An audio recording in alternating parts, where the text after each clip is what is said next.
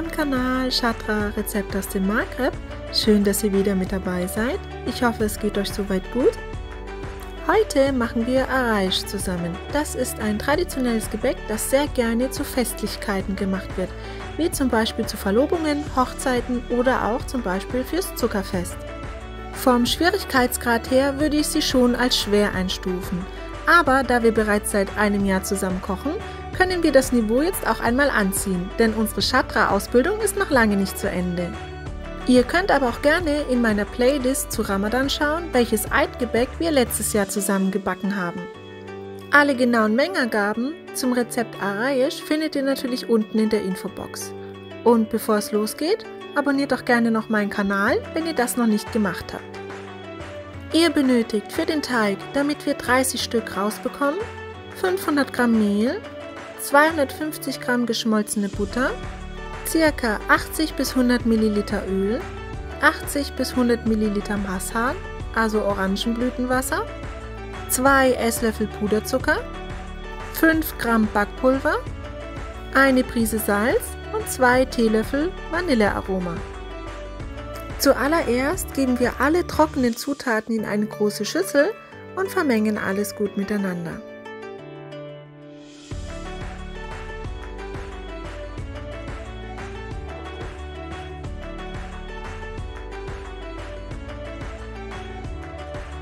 Anschließend geben wir unsere geschmolzene Butter mit hinzu und verarbeiten diese gründlich mit der Mehlmischung.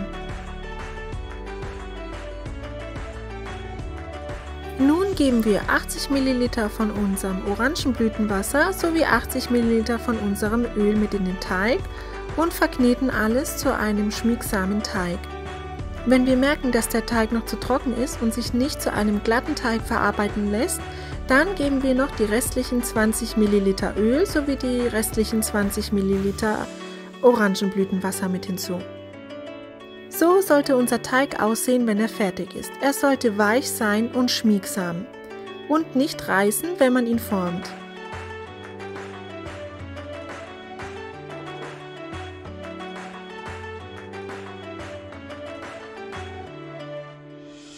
Den Teig legen wir nun in Frischhaltefolie und lassen ihn eine Stunde ruhen.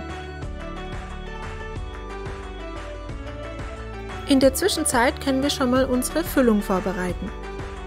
Dazu benötigen wir 200 Gramm gemahlene Mandeln, 180 Gramm Zucker, 1 Teelöffel Butter, 1 Teelöffel Vanillearoma und ca. 3 Esslöffel Masshar.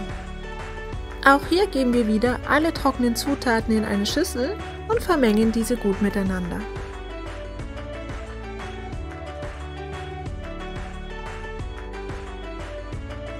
Dann geben wir noch den Teelöffel Butter mit hinzu.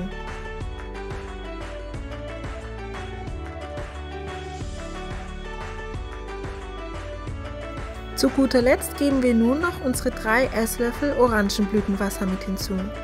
Geht da vorsichtig vor und gebt erstmal 1-2 Esslöffel mit hinzu und verarbeitet diese. Die Konsistenz unserer Füllung sollte der einer Marzipan-Rohmasse ähneln. Wenn ihr zu schnell und zu viel Masshar hinzugibt, dann könnt ihr eure Füllung überwässern. Und dann müsstet ihr zusätzlich wieder mehr gemahlene Mandeln mit hinzugeben, um eure Füllung wieder zu festigen. Daher die Flüssigkeit lieber schluckweise mit hinzugeben und immer wieder gut verkneten.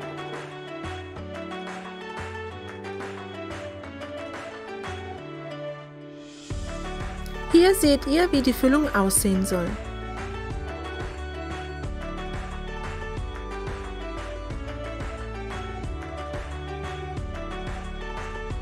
Nachdem nun unser Teig eine Stunde geruht hat, werden wir nun 30 Kugeln daraus formen, die jeweils 30 Gramm enthalten. Denn schließlich wollen wir später, dass alle unsere Araisch gleich groß sind.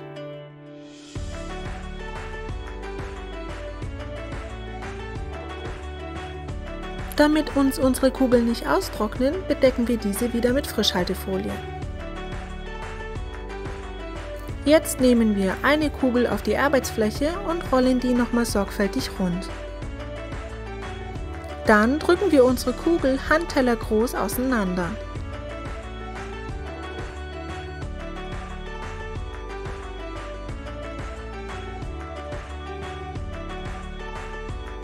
Jetzt nehmen wir unsere Mandelfüllung. Diese sollte jeweils 12 bis maximal 15 Gramm enthalten.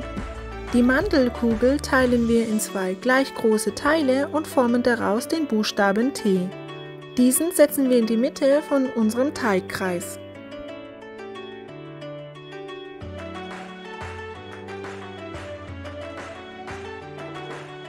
Jetzt nehmen wir unser Teigränder und verschließen somit das T.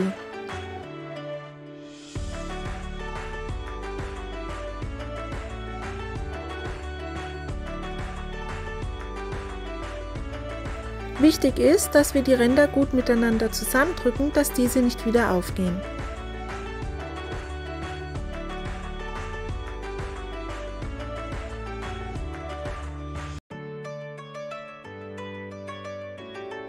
Jetzt drehen wir unser T um, denn wir wollen die verschlossene Seite nach unten haben und die schönere nach oben. Nun formen wir das T, dass die Längen gleichmäßig dick und lang sind.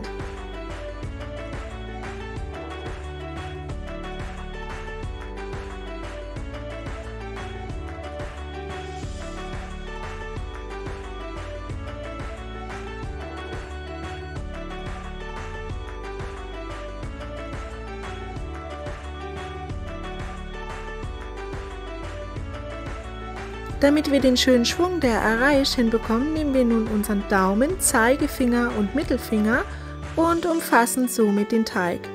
Dann nehmen wir die Längen und biegen diese um unsere Finger herum. Jetzt haben wir unser Grundgerüst und können jetzt die, die Längen der Araisch noch schöner hinbiegen. Normalerweise würde ich euch sagen, dass es nicht schlimm ist, wenn der Kuchen manchmal krumm und schief aussieht, denn wichtig ist es, dass ihr mit Liebe arbeitet und dass es am Ende eurer Familie und Freunde schmeckt. Bei der Araisch allerdings müsst ihr etwas sorgfältiger arbeiten, denn später verzeiht diese keine Fehler. Beachtet auch, dass die Längen alle in eine Richtung gehen. Sobald wir die Araisch schön geformt haben, können wir diese bereits auf ein Backblech legen. Jetzt machen wir das Ganze noch einmal zusammen. Wir nehmen uns einen Kugel Teig und rollen diese erstmal sorgfältig rund. Dann drücken wir diese Handteller groß aus. Unsere Mandelkugel teilen wir in zwei gleich große Kugeln und formen daraus ein T, das wir in die Mitte setzen. Nun heben wir wieder die Ränder an und verschließen somit unsere Teefüllung.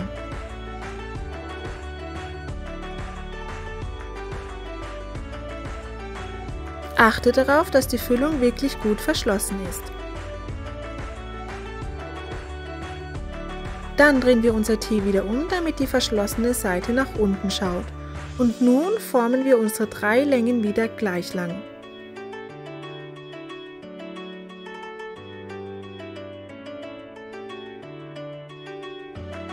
Wir nehmen wieder unseren Daumen, Zeigefinger und Mittelfinger als Hilfe damit wir wieder die Längen in dieselbe Richtung schwungvoll biegen können. Vielleicht hilft es ja, dass ihr euch vorstellt, dass ihr einen Seestern formt. Nun wird die Form noch etwas korrigiert und gerichtet und der Teig noch etwas geglättet.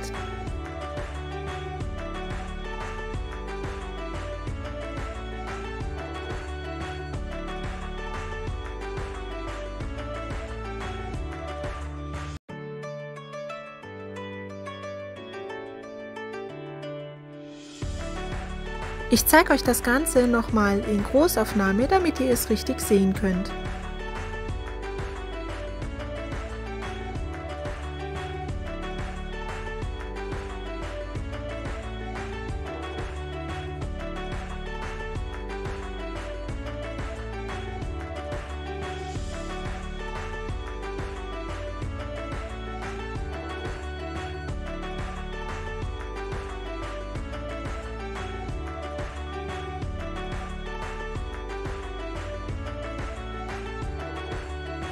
Die Araisch kommen nun im vorgeheizten Backofen bei 180 Grad für ca. 18 bis 20 Minuten in den Backofen.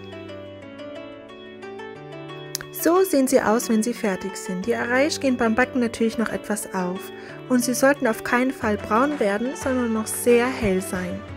Und bevor wir weitermachen, müssen die Araisch komplett abgekühlt sein. Jetzt bereiten wir unsere Zuckerglasur vor. Dazu benötigt ihr 140 ml Milch, 130 ml Orangenblütenwasser, 130 ml Öl, der Saft einer halben Zitrone und ca. 1400 Gramm Puderzucker. Das entspricht ungefähr 6 Packungen bei jeweils 250 Gramm.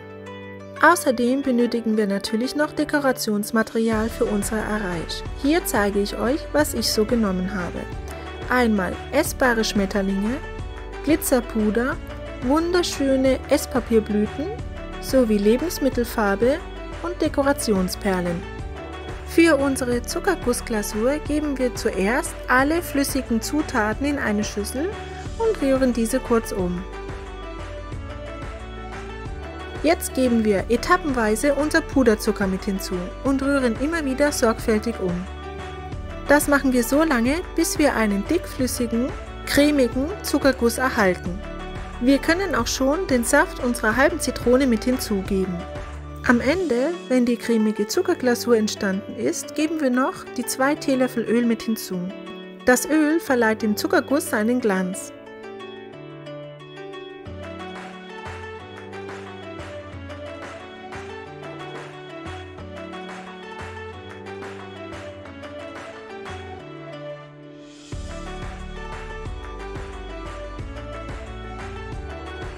Soweit ist unsere Zuckerglasur fertig.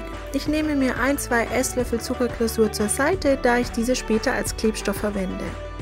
Nun können wir unsere Zuckerglasur einfärben, damit wir später bunte Araisch erhalten. Ich habe den Zuckerguss in zwei Schüsseln verteilt, da ich zwei verschiedene Farben haben wollte. Einmal rosa und einmal lila. Ihr könnt die Araisch entweder in Pastellfarben schmücken oder aber auch in kräftigen, knalligen Pink. Ich habe mich heute für Pastellfarben entschieden. Jetzt bereiten wir unsere Arbeitsfläche vor. Dazu nehmt ihr euch ein Backblech und ein Grillgitter oder ein Kuchengitter, irgendwas, worauf die Areis später abtropfen können. Dazu nehmen wir noch unsere abgekühlten Areisch sowie unsere Zuckerglasur. Nun können wir die Areisch einfärben. Ihr könnt nun entweder eine Araisch nehmen und diese direkt in die Zuckerglasur tauchen, da habt ihr aber das Risiko, dass ihr euch entweder kaputt gehen oder aber nicht die komplette Zuckerglasur aufnehmen. Oder ihr macht es so wie ich und nehmt einen Löffel dazu und umhüllt die Araisch komplett mit Zuckerguss.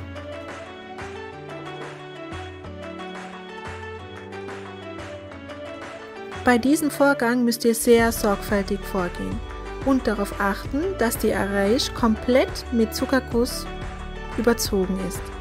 Auch solltet ihr darauf achten, dass in der Glasur keine Luftbläschen sind, denn diese seht ihr später auf der Araisch. Sollte dies der Fall sein, dann lasst eure Zuckerguss ganz kurz stehen oder schüttelt ihn etwas, damit die Luftblasen platzen.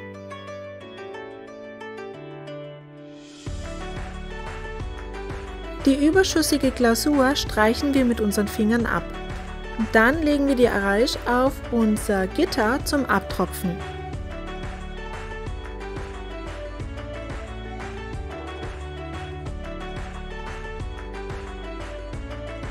Ihr könnt die Araisch nun im halbfeuchten Zustand dekorieren mit Perlen, Blüten, Schmetterlingen, je nachdem was euch gefällt. Da die Araisch sehr weiblich sind, hatte ich sehr viel Lust daran, diese mit Blumen und Perlen zu verzieren. Ihr könnt die Araisch auch mit Lebensmittelstifte verzieren mit Henna-Malereien, mit Schnirkel und Punkten.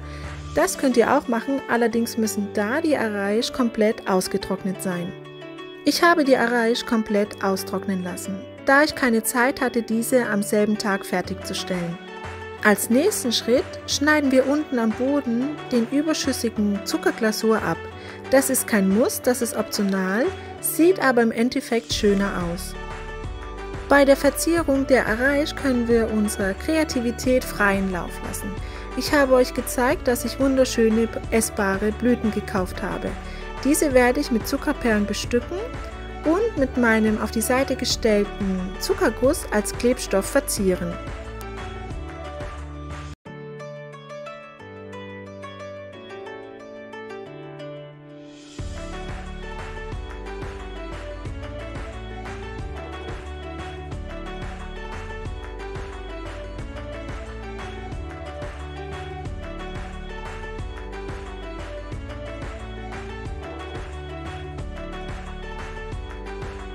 Das Ganze runde ich mit etwas Glitzerpuder ab. Jetzt möchte ich euch noch darauf hinweisen, wenn ihr mit der Zuckerglasur arbeitet. Ich habe ja vorhin erwähnt, dass ihr Araish keine Fehler akzeptiert. Hier seht ihr nur ein Beispiel, wie das aussehen kann, wenn ihr die Glasur nicht vollständig um die Araish umhüllt. Dies können wir letztendlich jetzt nicht mehr korrigieren, da die Glasur ausgehärtet ist. Beim zweiten Beispiel habe ich versucht, die Araish zu korrigieren, indem ich eine zweite Schicht Zuckerglasur darüber gegossen habe. Auch dies hat nicht funktioniert, da sie nicht den kompletten Araish bedeckt haben. Ich zeige euch das bewusst, weil einem das sonst nicht erklärt wird. Und schließlich möchte ich, dass ihr schöne Ergebnisse erzielt. So sehen unsere fertigen Araish in den verschiedenen Dekorationsvarianten aus.